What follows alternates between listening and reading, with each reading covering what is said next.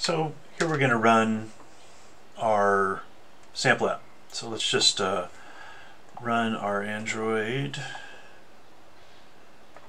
What we want to do is in the application, just as a quick inventory type thing, we're going to select this bottom piece called tag list match mode.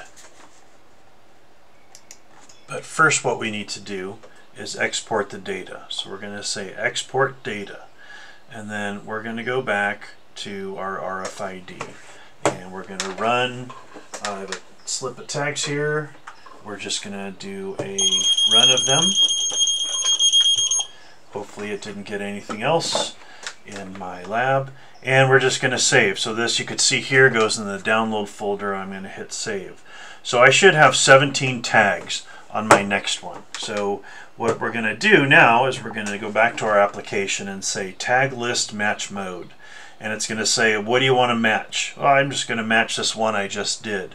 And so what this allows me to do is say, okay, let me know when I've reached and got all 17 of these tags.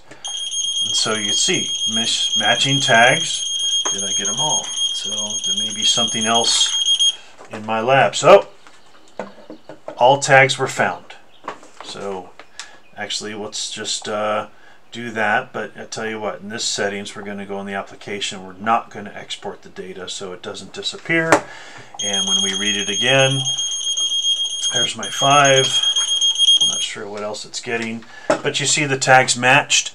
And I know in four seconds um, in this strip of uh, tags I have in front of me that I grabbed them all so this can be done with 100 tags 200 tags, whichever.